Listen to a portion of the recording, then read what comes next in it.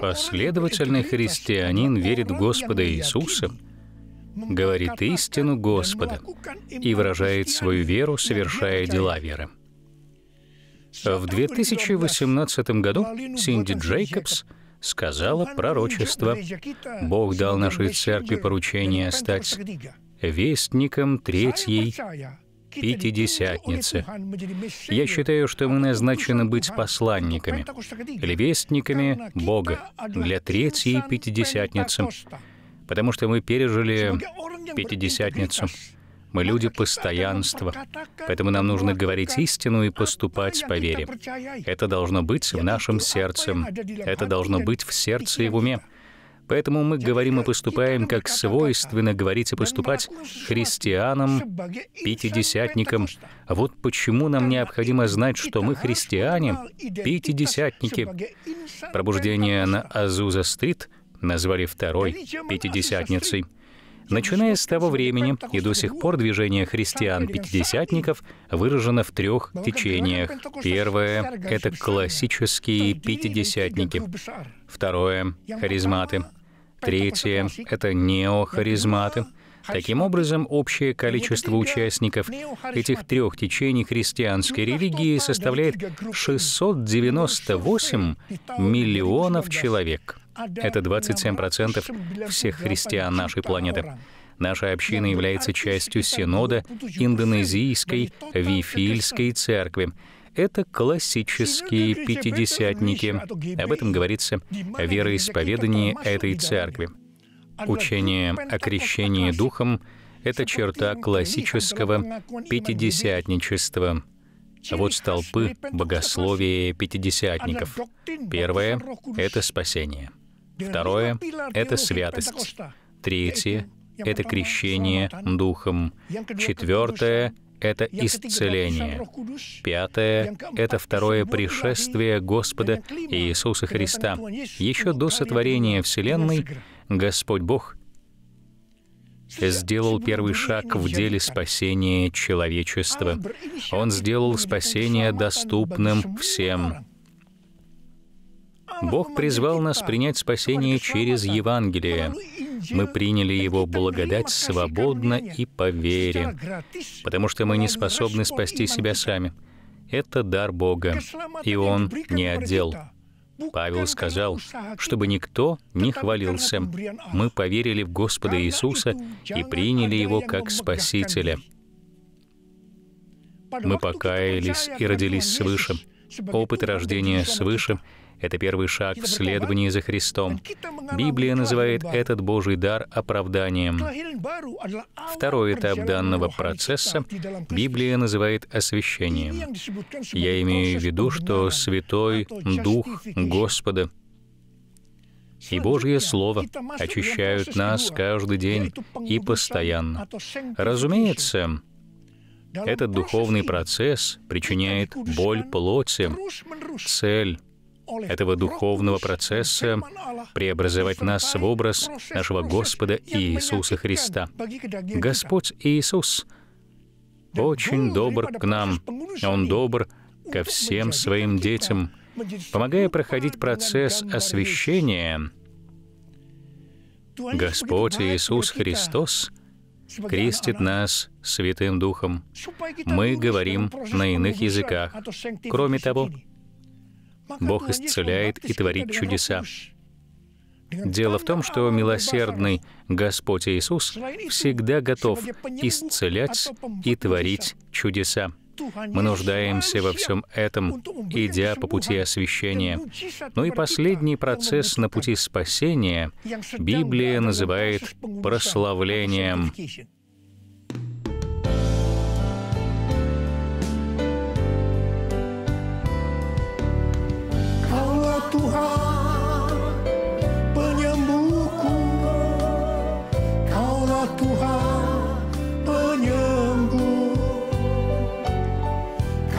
berfirman dan sembuhkanku. Kaulah Tuhan penyembuh. Kaulah Tuhan penyembuhku. Kaulah Tuhan penyembuh. Kau berfirman dan sembuhkan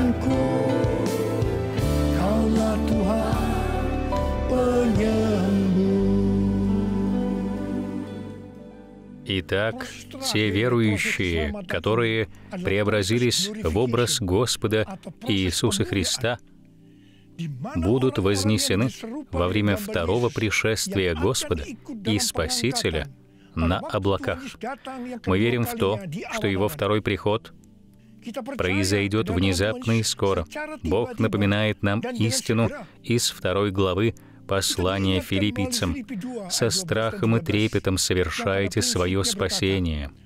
Далее Павел пишет, «Потому что Бог производит в вас и хотение, и действия по своему благоволению». Крещение Духом — это самый важный из пяти столпов богословия пятидесятников. На самом деле это центральная часть всего пятидесятнического учения. Мы верим в то, что каждый верующий который был освящен, способен пережить крещение Святым Духом со знамением говорения на иных языках. Главная цель крещения Святым Духом — это максимально увеличить помазание для нашего служения. У крещения Святым Духом есть две цели — Одна из них — это приблизить нас к Господу Иисусу. Вторая цель — это помочь нам исполнить великое поручение. А вот что сказал сам Иисус в 12 главе Евангелия от Матфея. Мы прочитаем с вами 31 и 32 стихи. «Посему говорю вам, всякий грех и хула простятся человеком, однако — Хула на Святого Духа не простится человеком. Если кто скажет слово «на Сына Человеческого», простится ему. Далее Господь Иисус Христос предупреждает своих слушателей, «Если же кто из людей скажет хулу на Духа Святого, не простится ему ни в всем веке, ни в будущем». В этом контексте хула на Святого Духа также означает насмешки и издевки над его дарами. Если вы не верите в языки, то не насмехайтесь над этим даром и не выступайте против него. Лучше молитесь еще больше. Есть люди, которые легкомысленно шутят о даре иных языков, а те, кто их слушает, смеются. Если вы делаете это, то, пожалуйста, покайтесь и попросите Небесного Отца помиловать и простить вас. Святой Дух излился в верхней комнате в Иерусалиме две тысячи лет назад. Он помогает нам благовестить торжествовать. Это первая Пятидесятница. Первая Пятидесятница была большой.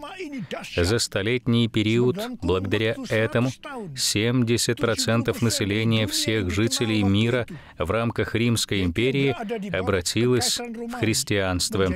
Вопрос. Мы исполнили великое поручение? И ответ — нет. В 1906 году тот же самый Святой Дух излился на Азуза-стрит. Это событие назвали Второй Пятидесятницей. Она была масштабной. Согласно данным, полученным богословской семинарией Гордона Конвелла, почти 78% современных христианских течений — и движений были основаны в начале 20-го столетия. Я имею в виду то, что они начались с излияния Святого Духа на Азуза-стрит или со второй Пятидесятницы. Поэтому на вопрос, исполнили ли мы великое поручение, мы можем уверенно ответить «нет». По этой причине в наши дни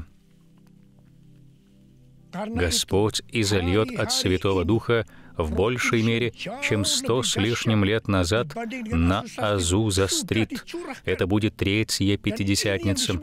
Я верю в то, что через эту третью Пятидесятницу Великое поручение будет исполнено, и Господь Иисус вернется. А вы готовы исполнить великое поручение? Если да, то давайте вместе скажем Господу, «Излей свой дух, и огонь Третьей Пятидесятнице помоги нам исполнить великое поручение. Маран Афа, приди, Господь Иисус. Curahkanlah kuasamu di tempat ini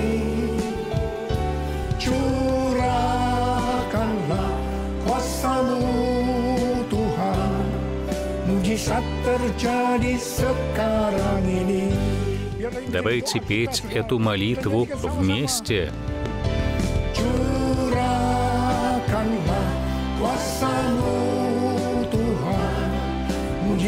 Terjadi di tempat ini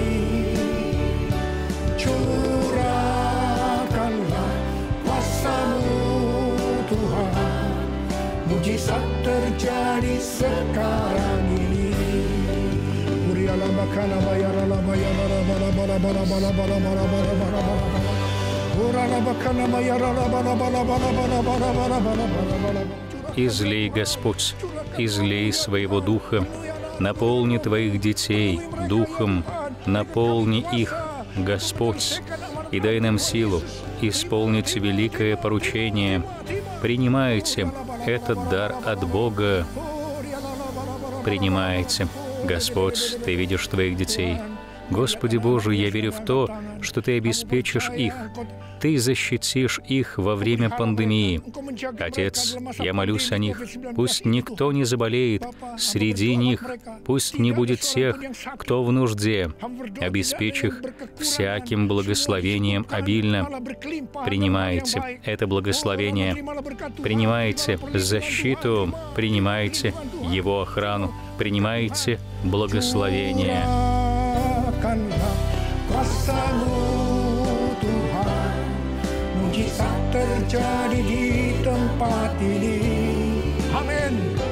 Curahkanlah kuasamu Tuhan Mujizat terjadi sekarang ini Mujizat terjadi sekarang ini Mujizat terjadi sekarang ini Mujizat terjadi sekarang